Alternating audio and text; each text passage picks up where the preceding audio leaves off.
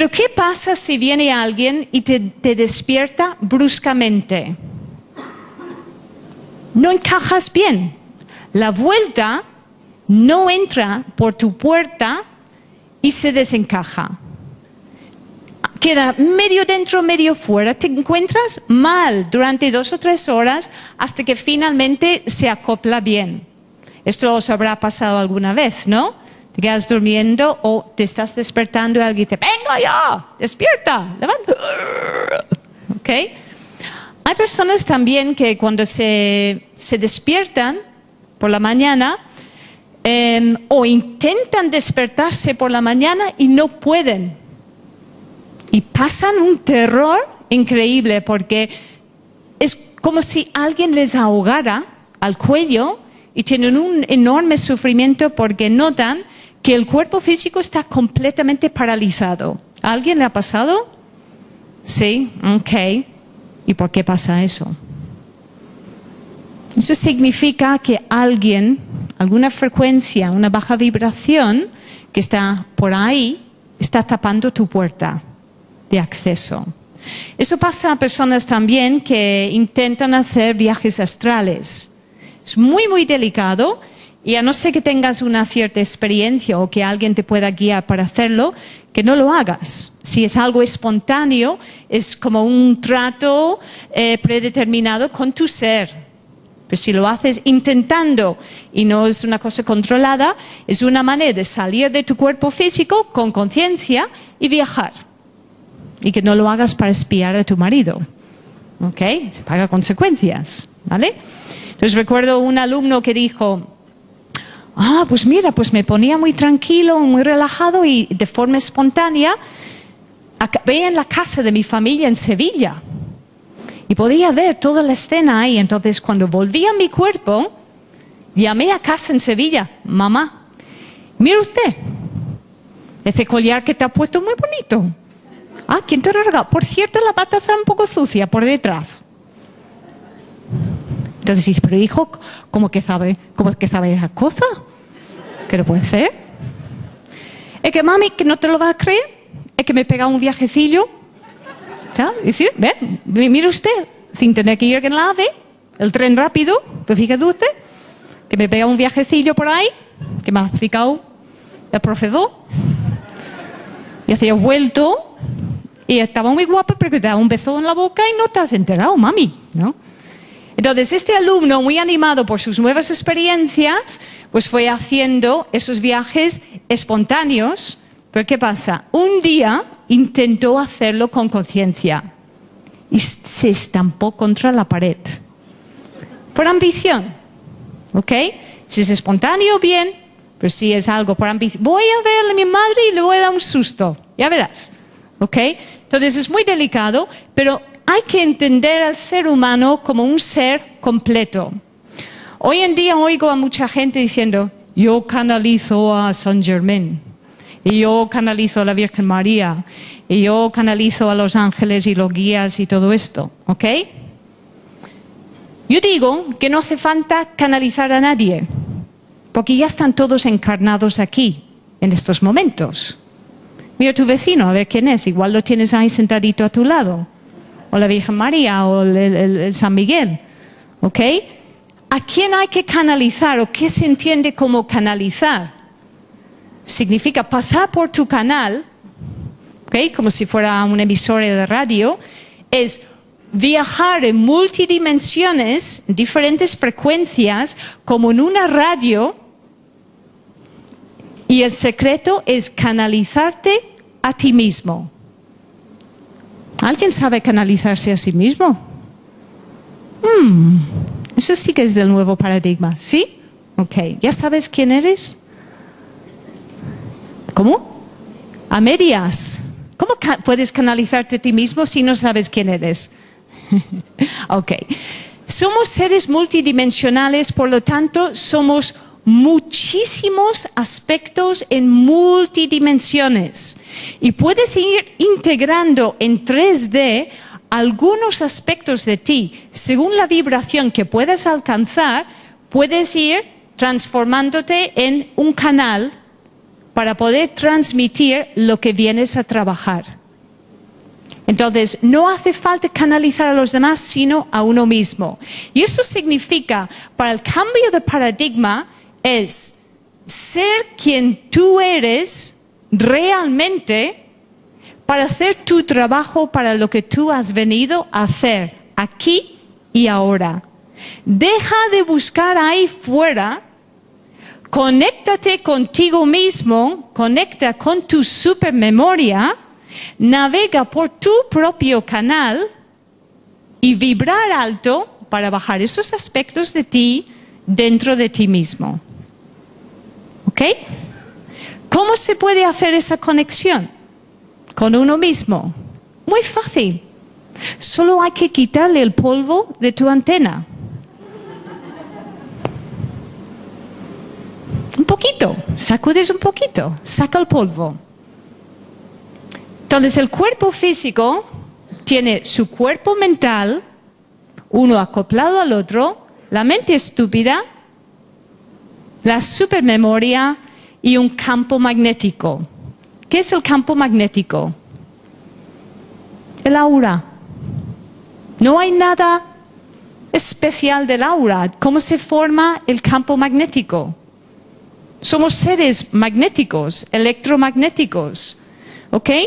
¿Habréis oído hablar de los chakras? Es el cuerpo de chakras que pertenece a la cuarta dimensión que se acopla a nuestro cuerpo físico. ¿Se pueden ver los chakras? No, pero se puede hacer fotos con la máquina Kirlian y tal, ¿no? ¿Qué es un chakra? Es un agujero negro. Son transformadores. Giran a una velocidad y cogen una frecuencia y esa frecuencia tiene un color que brilla fuera del campo del, eh, del cuerpo físico. Cuando una persona está sana y relajada, su campo magnético expande 12 metros todo alrededor de la persona, sana y relajada. Imagínate que estás sentado en un cuarto, en silencio, con calma, no oyes nada, pero de repente sientes que alguien entra y te giras. Y alguien acaba de entrar en la habitación. ¿Os ha pasado alguna vez? ¿Ok? Cuando le ponemos emoción, intención, ganas, podemos hacer que nuestro campo magnético cruce todo el planeta. Puede cruzar todo el planeta. ¿Os ha pasado alguna vez que, que, estás pensando en alguien en Australia y piensas, voy a llamar a mi amigo George en Australia. Y de repente vas a coger el teléfono, lo coges y ya está al otro lado. Ya está ahí. ¡Eh! ¿Que te llamaba? Digo, pues qué bien, majo, pagas tú la llamada, ¿eh? Yo no he marcado. Pagas tú. ¿Os ha pasado alguna vez? ¿Por qué? Porque tu campo magnético ha alcanzado el campo magnético de la otra persona y por vibración la transmisión de frecuencia, porque pensamiento es frecuencia, ha alcanzado la otra persona. ¿Ok? Entonces, cuando piensas en alguien, dicen, ¿dónde va tu pensamiento? Ahí estás tú, ahí está tu energía. Por lo tanto, piensa con intención. Más vale que sea bueno. Si piensas con mala leche hacia una persona, te haces daño a ti mismo porque bota de un campo magnético a otro campo magnético. Ama a los demás como a ti mismo. Porque siempre lo que das vas a recibir. Porque vamos como unas burbujas por ahí que vamos chocando el uno con el otro con nuestros campos magnéticos. Dentro del campo magnético está la información energética de cada uno. Si tú estás en control de tu sistema nervioso, tu campo magnético será brillante y sólido, compacto. Pero si estás deprimido, enfadado, descontrolado en tu sistema nervioso, tu campo magnético va a ser como un blue, disperso, eh, como un globo cuando se ha hinchado muchas veces pierde esa elasticidad, ¿ok? No está tierso. En cambio, cuando el campo magnético está centrado, la mente está concentrada, uno está en el centro y brilla y nada puede penetrar. Por lo tanto, lo que puede haber en el entorno que no esté en sintonía contigo, rebota. Nadie te puede hacer daño. Según la alimentación de una persona, puede afectar tu campo energético, tu campo magnético. Si tu dieta está basada sobre dulces, alcohol, cereales em, refinados, campo magnético se dispersa y te deprimes. Pero si utilizas, por ejemplo, el arroz integral, como antes comentaba, eh, la importancia de los cereales integrales, como comentaba Roy, tu campo magnético se concentra, porque estamos hablando que en el universo todo se basa sobre yin, yang, polo positivo, polo negativo y neutro. Entonces, una persona que tiene una tendencia a la depresión tiene un exceso de polo negativo y una persona feliz, concentrada en su campo magnético, va a ser una persona centrada en control de su sistema nervioso, por lo tanto, una persona protegida. Si tú quieres aprender a conocerte a ti mismo, tienes que controlar tu sistema nervioso para poder controlar tu mente, tener a tu mente en paz.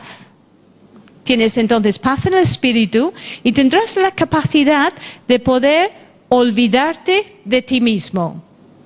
Solo cuando te olvidas de ti mismo, creas un vacío y puedes salir con facilidad de tu cuerpo y puedes expandirte y trabajar en multidimensiones. Pero una persona que no controla su sistema nervioso es imposible que pueda tener esa paz para poderse eh, escapar de uno mismo. Porque cuando queremos buscar algo, queremos controlar algo, el, el mayor problema es que nos metemos en medio. Si, por ejemplo, tienes ojos y eres consciente de que tienes ojos, ¿sí? Pasas el día diciendo, tengo ojos, veo. ¿Sí o no? Mira todo lo que veo. Qué flipante. Tengo los ojos. Mira que veo. Es increíble. ¿Cuándo te vuelves consciente de que tienes ojos? Cuando empiezas a ver lucecitas y manchas y cosas que no quieres ver. ¿Ok? Tus ojos entonces se meten en medio entre lo que ves, ¿ok? Y lo que quieres ver. Cuando queremos alcanzar algo a nivel multidimensional, ¿qué se mete en medio? La mente estúpida. ¿Ok? Entonces tenemos que, como decimos en inglés, to be out of your mind, estar fuera de tu mente, que también significa estar loco.